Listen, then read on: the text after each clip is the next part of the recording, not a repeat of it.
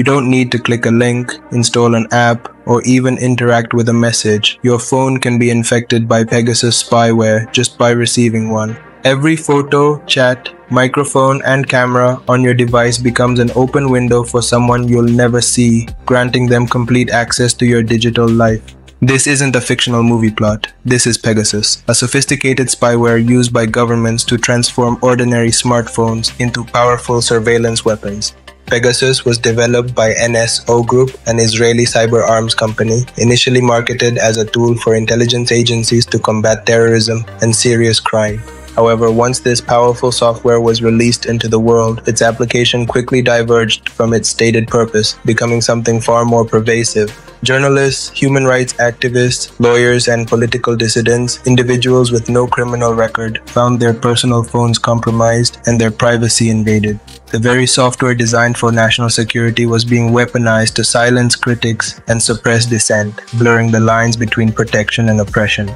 Pegasus operates through what's known as a zero-click exploit, meaning it requires no interaction from the target user to infiltrate a device. It can slip in through vulnerabilities in popular communication apps like iMessage or WhatsApp, exploiting weaknesses to gain unauthorized access. One notable method involves sending an iMessage with a disguised GIF image that exploited a vulnerability in the phone's JBIG2 codec function, allowing the spyware to take control.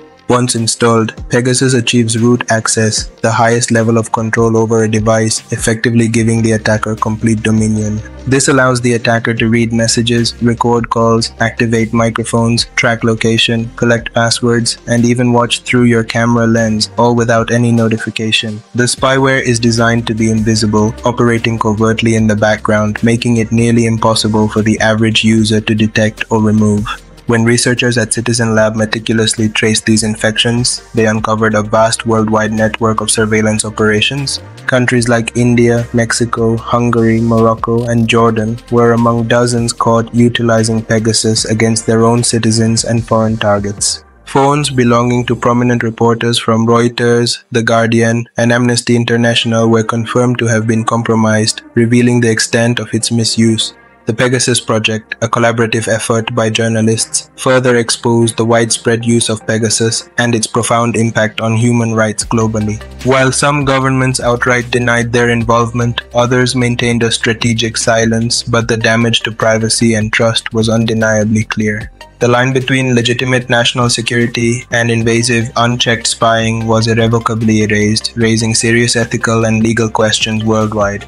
You might mistakenly believe this sophisticated surveillance only targets high profile individuals, but that assumption is dangerously flawed. Pegasus has exposed a new unsettling era where any personal device can be weaponized, making everyone a potential target.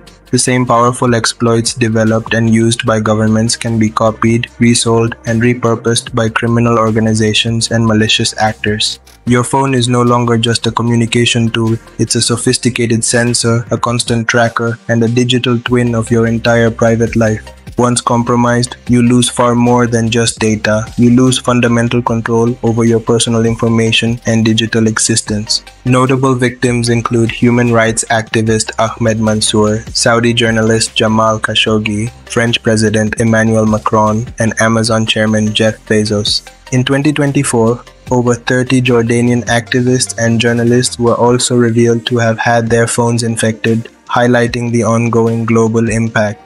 NSO Group maintains that Pegasus is sold exclusively to governments for combating crime and terrorism with strict human rights guidelines. However, evidence of widespread misuse against innocent individuals directly contradicts these claims, leading to significant international backlash. The US Department of Commerce has placed NSO Group on a block list, and Apple has filed a lawsuit against the company, signaling growing regulatory action.